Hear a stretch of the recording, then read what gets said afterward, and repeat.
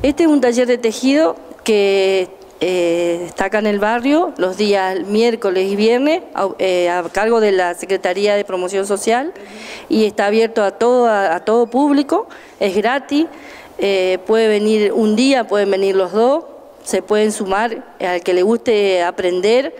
Bueno, yo estoy dispuesta a ayudarlos a, a que esto sea una tarea y, y, también a una salida laboral, porque hay mujeres que, que están haciendo trabajo y ya lo están vendiendo, así que... ¿Qué técnica están ocupando? Eh, dos agujas, crochet, macramé, lo que quieran tejer, yo estoy capacitada para enseñarles.